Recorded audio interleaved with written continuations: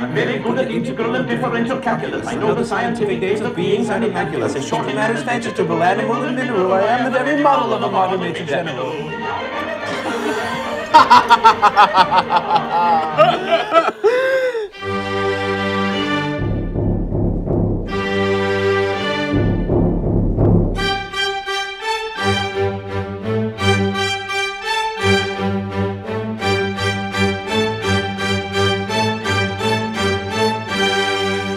know it's gonna happen, right?